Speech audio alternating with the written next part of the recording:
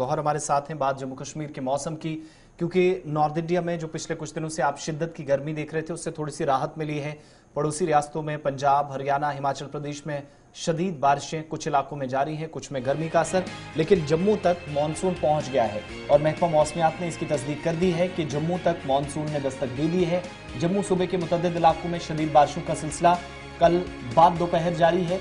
कश्मीर सूबे में गर्मी में फ़िलहाल कोई गर्मी से खास राहत नहीं मिली, इस तरह की इतलात हैं। बलाई हिस्सों में ज़रूर हल्की बारिशें हुई हैं।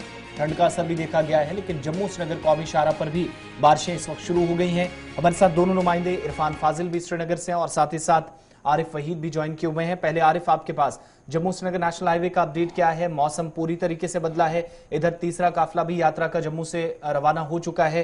क्या कुछ सूरत हाल है और बिना किसी खलल के यात्रा चलेगी जो meanwhile traffic within the district चलता है या जिन एरियाज़ में कंस्ट्रक्शन कंपनियाँ अभी भी काम में मसरूफ है वहाँ क्या कुछ तैयारियाँ चल रही हैं और ओवरऑल क्या अभी सिचुएशन है?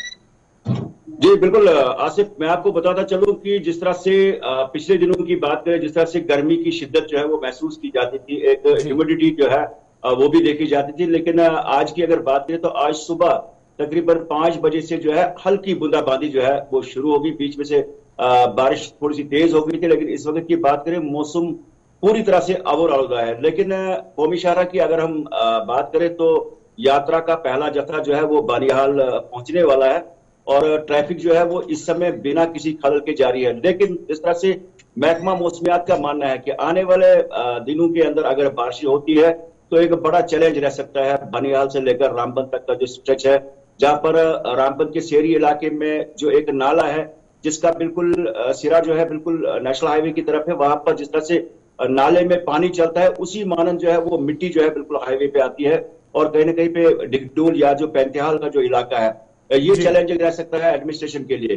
तो इस वक्त की अगर बात करें तो इस वक्त कौमी शारा पे ट्रैफ़िक बहाल है और यात्रा का पहला जत्था जो है वो बानिहाल पहुँचने वाला है लेकिन उसके साथ में जो जो नियम बनाए गए हैं इस यात्रा के हवाले से कि जब तक यात्रा जो है अपने इस एरिया में क्रॉस करती है, जैसे बेस कैंप बानिहाल के अंदर बनाया गया, रामसू में एक छोटा सा बेस कैंप बनाया गया है तो तब तक जो है लोकल सतह पे ट्रांसपोर्ट को भी जो है वो रिस्ट्रिक्शन रहती है।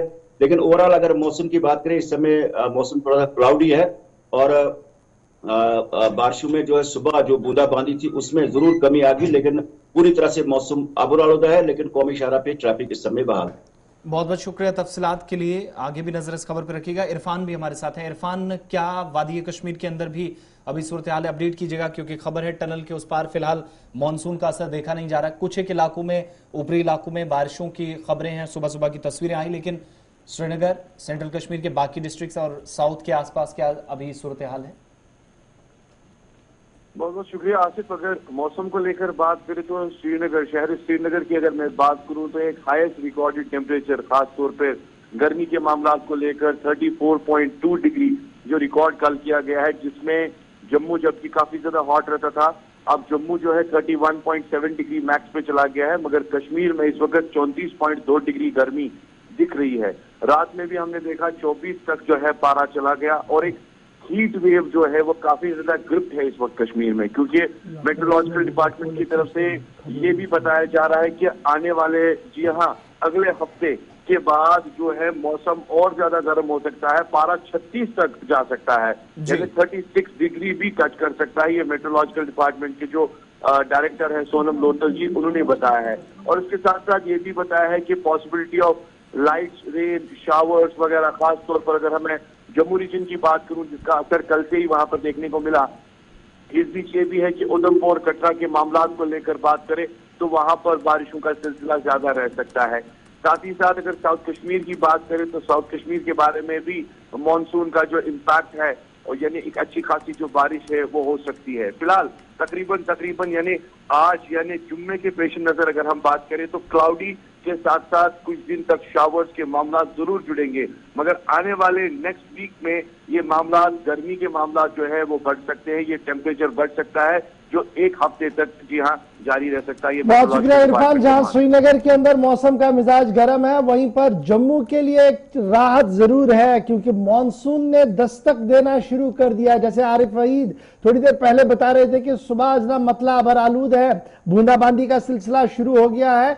वहीं पर जम्मू के लिए एक राहत की खबर है जो शिद्दत की गर्मी पिछले कई दिनों से जम्मू के अंदर देखने को मिल रही थी, उसमें राहत मिलेगी क्योंकि मानसून ने जम्मू के अंदर दस्तक देना शुरू कर दिया है। Indian meteorological department MD IMG की तरफ़ से फोरकास्ट किया गया है। ये पेशन गोई कर दी गई है। कि आने वाले दिनों के अंदर, जम्मू के अंदर जमकर बारिशें जो है वो हो सकती है। यानी मानसून अराइव करेगा जो जम्मू के अंदर आज सुबह से, और उसके बाद आने वाले चंद घंटों के लिए बारिशों का सिलसिला भी रह लगेगा पाँच जुलाई तक। यानी आज से लेकर पाँच जुलाई तक वक्फे वक्फे से, हल्के से दरमियाना दर्जे की बारिशें जम्मू सूबे के अंदर जो है वो देखने को मिलेगी, जिससे थोड़ी सी राहत मिलेगी। इस वक्त